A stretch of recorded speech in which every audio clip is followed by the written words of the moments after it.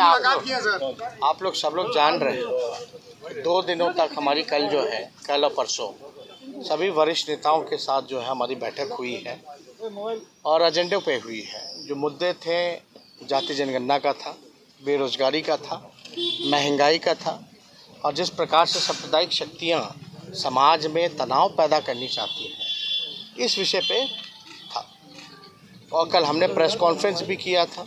जाति जनगणना को लेकर के हमने अल्टीमेटम भी दिया था कि भाई 48 घंटे या बहत्तर घंटे के अंतर मुख्यमंत्री हमको बुलाएँ, समय दें, ताकि हम उनके राय को जान सकें कि भाई वो जाति जनगणना कराना चाहते हैं कि नहीं कराना चाहते हैं। और कराएँगे तो कब तक कराएँगे और कैसे कराएँगे, इन सारे विषयों पर हमारी बात हुई है। और हमने एक एक बात जो है मुख्यमंत्री के समक्ष जो है, सारी बातों को हमने रख दिया है। और मुख्यमंत्री जी ने हमको आश्वस्त किया है कि भाई, इसके पक्षधर वो भी हैं।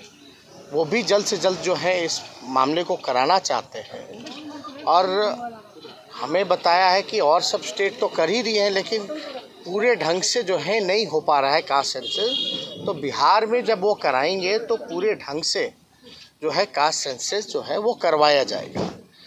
लेकिन उन्होंने हमको कहा है कि भाई, ये कैबिनेट से ही पास करना है प्रस्ताव तो क्योंकि विपक्ष हम हम तो नहीं कर सकते। जो सरकार में बैठे लोग हैं, वही इस बात को कर सकते तो कैबिनेट की मंजूरी तो चाहिए। तो कैबिनेट की मंजूरी में उससे पहले वो चाहते हैं कि भाई, एक बार सभी पार्टियों को बुला लिया जाए। भाई, क्या रूपरेखा रहेगी? जाति जनगणना कैसे कराया जाएगा? तो एक बार स्पष्ट हो जाए, और उसके बाद जो है वो अपना इस काम को करेंगे। तो ये बात हमको तो आश्वस्त किया है। लेकिन हमारा फ़र्ज़ बनता था कि जिस चीज़ को और जिस मुद्दे को हम लोगों ने उठाया चाहे बेरोज़गारी का मामला हो। बेरोज़गारी के भी सवाल पे हमने मुख्यमंत्री जी को बोला है कि बिहार में भी जो है बड़ी परेशानी है, समस्या है। जो नौजवान हैं उनको रोज़गार की व्यवस्था करानी चाहिए। जो खाली पड़े जो पदे हैं, जो रिक्त पदे हैं, उसको भरने का काम करना चाहिए। इस बात को भी हमने रखा है।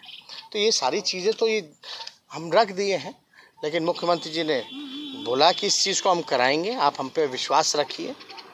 अब मुख्यमंत्री जी ने कहा कि विश्वास रखिए हम इस चीज़ को करेंगे। तो कुछ दिन देखते हैं कि हमको तो यही बोला गया कि भाई अति शीघ्र जो है वो किया जाएगा। पैदल मार्च होगा सर। पैदल मार्च अब अब अब एक बार देख लेने दीजिए क्योंकि हमको तो विश्वास दिलाए हैं कि वो कराएँगे।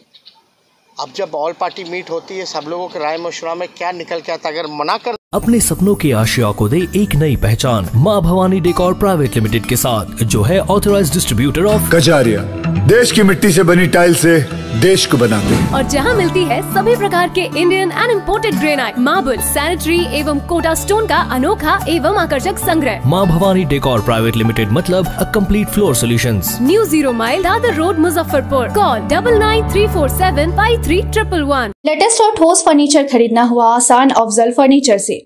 यहाँ आपको मात्र चौतीस हज़ार पाँच सौ में पूरा फर्नीचर सेट मिलेगा। स्टोर स्थित है मुजफ्फरपुर के नरसंदा चौक पर। ऑर्डर करने के लिए अभी संपर्क करें nine nine three one four eight five four three seven पर।